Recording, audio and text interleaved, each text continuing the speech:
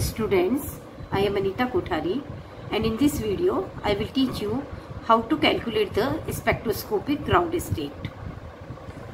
Suppose uh, I am calculating the spectroscopic ground state for D2 configuration, right? So we know that there are 5 d orbitals 1, 2, 3, 4 and 5, okay? So first thing is that we have to fill up the electrons in such a way so that there are there are maximum number of unpaired electrons means, जब भी हम electrons को भरेंगे तो हमें इस तरह से भरना है कि वो हुन्स की मैक्सिमम मल्टीप्लिसिटी नियम का पालन करें।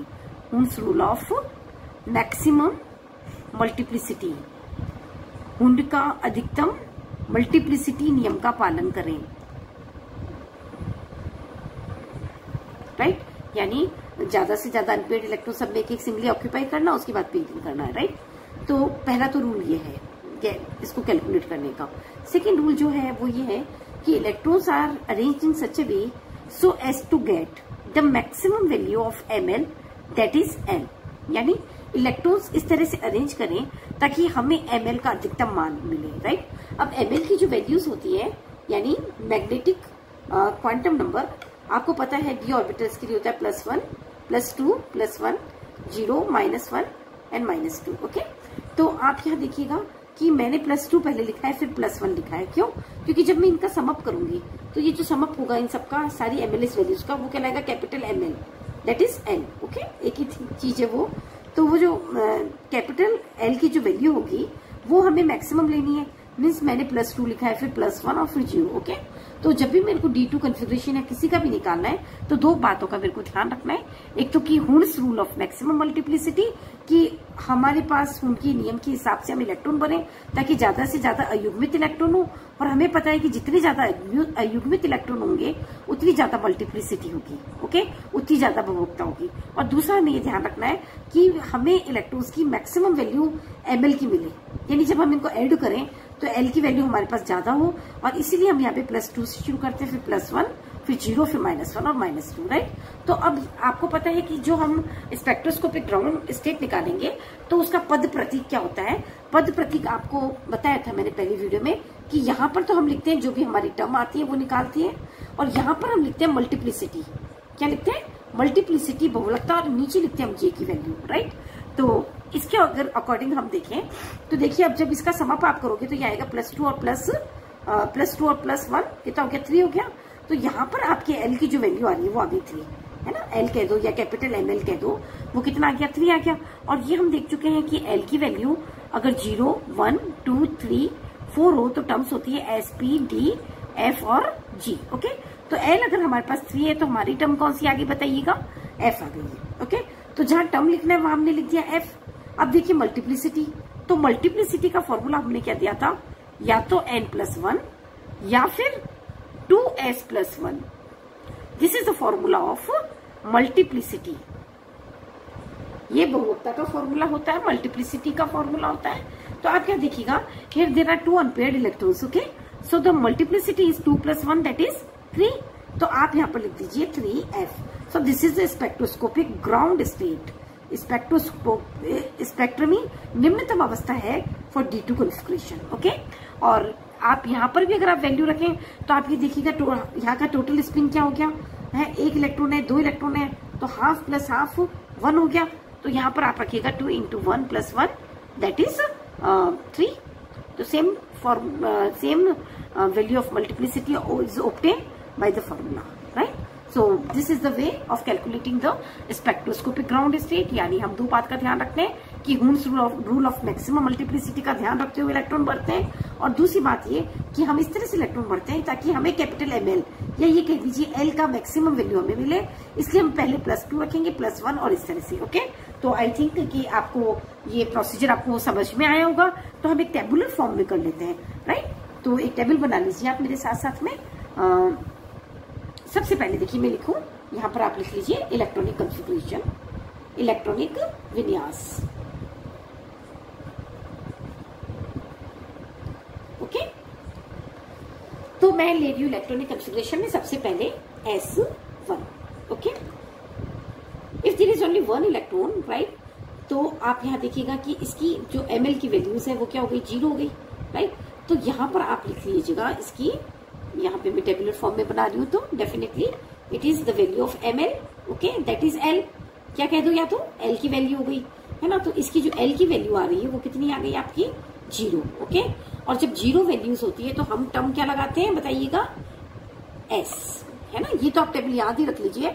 L equals zero one two three four then corresponding term is S P D F और जी ओके तो यहाँ पे टर्म आ गई S then number of unpaired electrons अयुग्मित इलेक्ट्रॉनों की संख्या one okay then number total spin of electron is half okay then multiplicity बहुवक्ता इस या तो एन प्लस वन से निकालो, या फिर आप किसे निकालेंगे बताइएगा?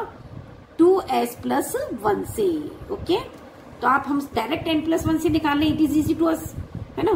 तो N plus one that is two इसकी मल्टीप्लिसिटी हो गई राइट अगर आप एस से निकालेंगे तो यहाँ पर रखेंगे हाफ़ राइट तो टू से टू गया तो that is again two right अब हमारा जो टर्म हो गई, या ये कह दो स्पेक्ट्रोस्कोपिक ग्राउंड स्टेट हमारी जो हुई है इसकी, वो ये हो गई एस तो हमारी टर्म आई है और मल्टीप्लिसिटी इसकी आई है टू ओके तो ये आपको क्लियर हो गया? अब आप आ जाइए एस टू पे, और मेरे साथ साथ थोड़ा फास्ट करिएगा ओके अगेन टोटल निकाली value it is zero okay then the term S क्योंकि ज़ीरो थे term S number of unpaid electron zero look here right then total spin is zero है ना? क्योंकि ये बिल्कुल हाफ़ एंड हाफ़ मिलके zero हो गया है right then multiplicity is number of unpaid electron is zero तो zero plus one that is one multiplicity right या आप यहाँ पे ज़ीरो रखोगे तो भी वो भी वन आएगी। Got it now come to P one P two P three P four P five and P six okay आपको पता है ये ऑर्बिटल्स हमारे पास में कितनी है? तीन होती है ना? तो हम जल्दी से तीन तीन ऑर्बिटल्स बना लेते हैं। और आपको ये पता है कि हमें मैक्सिमम वैल्यू किसकी चाहिए? एल की चाहिए। तो सबसे पहले मैं प्लस वन लिखूँगी। Plus one zero minus one okay तो पी वन का ये हमने एक इलेक्ट्रॉन इसमें डाल दिया। तो आप देखिएगा कि इसकी जो ML की वैल्यू कितनी आ गई? वन देखो आप ध्यान से। Plus one zero minus one तो प्लस वन को मैंने पहले लिखा है ओके तो प्लस वन अगर मैंने पहले लिखा तो ML की वैल्यू कितनी आ गई? वन आ गई। वन आते हैं आपकी टर्म कौन सी हो गई बताइएगा? पी हो गई okay then number of unpaid electron look here it is one right then spin of the electron is half and number of unpaid electron plus one है ना? Number of unpaid electron plus one multiplicity that is two तो term आ गई two P got it फटाफट से सारी calculation कर लीजिएगा। Now you have to fill up two electron here again plus one zero minus one now add plus one and zero जो नीचे वैल्यू लिखी है, उसको ऐड करते हैं। तो प्लस वन और ज़ीरो कितने हो गए? वन ही हुए ना? तो one then P term one है तो P term okay then number of unpaired electrons are two then total spin half plus half means one then multiplicity is N plus one that is 2 plus 1 that is 3 so, the term 3p got it? Now if there are three electrons Hund's नियम का पालन करते हुए एक एक भरा है plus one zero minus one तो टोटल वैल्यू गिल्लो ज़ीरो हो गई. प्लस वन और माइनस वन ज़ीरो हो जाता है तो ज़ीरो अगर ज़ीरो है तो टर्म हो गई S okay then number of unpaid electrons are three one two three then spin is half plus half plus half three by two then number multiplicity is N plus one N plus 1 multiplicity, that is 3 plus 1 4 so, the term is 4s got it? Then p4 ध्यान से देखिएगा p4 को एक बार यहाँ पे देखिएगा electron की पेडिंग शुरू हो गई है। अब हर इलेक्ट्रॉन का जो नंबर है वो हमें गिनना है। देखिए, सुनिएगा। एक है इलेक्ट्रॉन तो प्लस वन दूसरा है तो प्लस वन यानी ये तो हो गया प्लस टू कितना हो गया? प्लस टू ज़ीरो तो ज़ीरो ही रहेगा। प्लस टू में से माइनस वन गया तो कितना बचा? माइनस वन वॉट इट अगर वन है तो टर्म पी आएगी। Okay the number of unpaid electrons are two then spin is half plus half one then multiplicity will be what two two plus one two plus one that is three okay then here it is 3p got it? Now come to p5 plus 1 0 minus 1 again, plus 1 plus 1 plus 2 हो गया भाई plus two ये zero ही रहेगा पूरा। Plus two में से one गया तो वन ओके देन देखिए ना प्लस वन प्लस वन क्या हो गया? प्लस टू ये ज़ीरो हो गया प्लस टू में से वन गया तो वन अगर वन है तो हमारी टर्म क्या आती है? P okay unpaid electron one और उसका स्पिन हाफ़ अगर ये वन है तो unpaid electron plus one N plus one multiplicity that is two देखिए फॉर्मूला एन प्लस वन तो हमारी टर्म आ गई क्या? टू पी राइट अब आप आ जाइए सिक्स इलेक्ट्रॉन फिलअप करने. ओके तो आप यहाँ देखिएगा plus one zero minus one okay तो अगेन आप क्या देखेंगे, इसकी टोटल सम आप क्या आ गई? ज़ीरो आ गई राइट और इसमें आप क्या नोट करेंगे अगली बात कि यहाँ पर क्योंकि ये ज़ीरो आई है तो टर्म हो गई हमारी S corresponding term S number of unpaid electron zero right total spin आप इसका कितना बताएँगे, बताइए? टोटल स्पिन भी इसका ज़ीरो है ना? Total spin is zero right then multiplicity 0 plus 1 that is 1 and 1s right? तो आप ये देखिए कि कितना आसान है इसको कैलकुलेट करना। एक बार हमें बस दोनों बातें पता पड़ जाए कि किस तरह से हमें इसकी कैलकुलेशन करनी है। हमें ये दो बातों का ध्यान रखना है कि अनपेड इलेक्ट्रॉन्स भरे हम इस तरह हुड के नियम का पालन करते हुए। सबसे पहले अनपेड इलेक्ट्रॉन और उसके बाद में उसकी पेयरिंग शुरू करनी है। दूसरी बात हमें ये ध्यान रखती है कि जब भी हम इलेक्ट्रॉन्स की फिलअप करें उसके अंदर तो वो मैक्सिमम वैल्यू हमें एम की मिले। दैट इज़ एल की वैल्यू अधिकतम हमें मिले इसलिए हम मैक्सिमम नंबर से शुरू करते हैं ओके अब हम डी इलेक्ट्रोन्स के लिए ले लेते हैं configuration of D electrons okay configuration right D electrons का एक एक करके हम शुरू करें तो D one okay one two three four five D2, D3, D4, D5, D6, D7, D8, D9 and D10 okay round अब आपको पता है अगेन हम क्या ध्यान रखेंगे? Plus one plus plus two plus one zero minus one and minus two ताकि हमें मैक्सिमम वैल्यू मिले। वन इलेक्ट्रॉन हमने इसमें भर दिया राइट तो आप देखिएगा ध्यान से क्या देखेंगे आप? कि हमें सेकंड कॉलम में हमें क्या लिखना बताइए? हमें लिखनी है कि एम की वैल्यू कितनी आई या एल की वैल्यू कितनी आई? तो ML की वैल्यू यहाँ पर आई है टू तो हम क्या देते हैं? टू के लिए टर्म बताइएगा। वापस नीचे लिख लीजिए। Zero one two three four हो। अगर एल की वैल्यू तो जो तो हमारी टर्म्स आती हैं, वो है एस पी डी एफ़ और जी ओके तो हमारी two value I that is term हमारी क्या आ गई? D got it the next column is the number of unpaired electron one ठीक है? Next column is the total spin one unpaired electron है तो half spin next column is the multiplicity that is बहुवक्ता. Formula is either n plus one और it is two s plus one याद है? दोनों में से कोई भी एक फॉर्मूला हम ले लेंगे. तो आप देख ही लीजिए एन प्लस वन इजी हमारे लिए. तो अगर ये अनपेड इलेक्ट्रॉन वन है तो मल्टीप्लिसिटी टू हो गई हमारी. देन जो हमारी स्पेक्ट्रोस्कोपिक ग्राउंड स्टेट है वो हमारी हो गई टू डी राइट अब आ, आगे से कर लीजिए डी टू के लिए।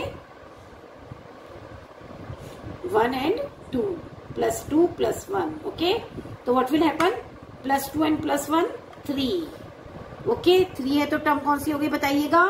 एफ़ हो रही है बेटा?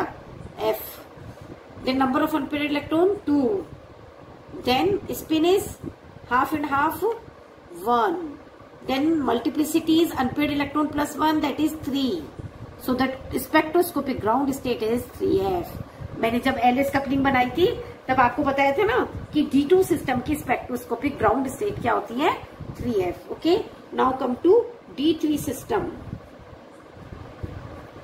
1 2 3 that is plus 2 plus 1 0 minus 1 and minus 2 तो कितना हो गया plus two and plus one again three term हो गई हमारी एफ़ थ्री है तो देखिएगा then number of unpaired electrons are three total spin is half half half that is three by two then multiplicity is three plus one that is four so So the term is spectroscopic ground state is 4F. Now come to D4 system. 1, 2, 3 and 4. Plus 2 plus 1, 0, minus 1 and minus 2. So plus 2 plus 1 कितने हो गए? 3? 3 में से एक गया minus one तो बच गया दो। ठीक है भाई? देखो plus two plus one three ये तो ज़ीरो है ही है। इसमें से एक माइनस वन चला गया थ्री में से तो कितना बच गया? टू अगर टू है तो टर्म क्या आएगी? D okay then number of unpaired electrons are four then spin is half plus half plus half plus half that is two then what I say?